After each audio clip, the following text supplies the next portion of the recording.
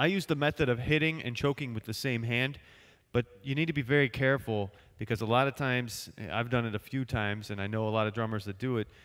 You hit and you try to catch, and you end up getting right in between your uh, fingernail, and oh, it hurts. So when you do that, you're kind of going to bring your hands out. Oh, I guess it's like a gun.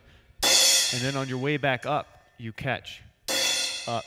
So stroke down, and then when you come up, you catch. And I guess I use my two fingers, not just uh, the one. So I'm out like this.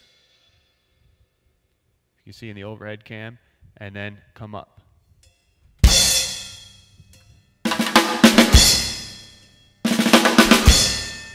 If you get fast at it, you can actually have it hit your hand uh, when it comes down and catch with your thumb.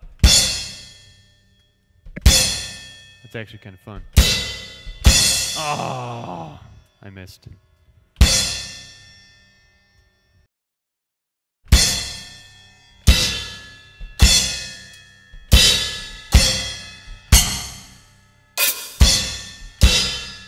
All right, I gotta stop.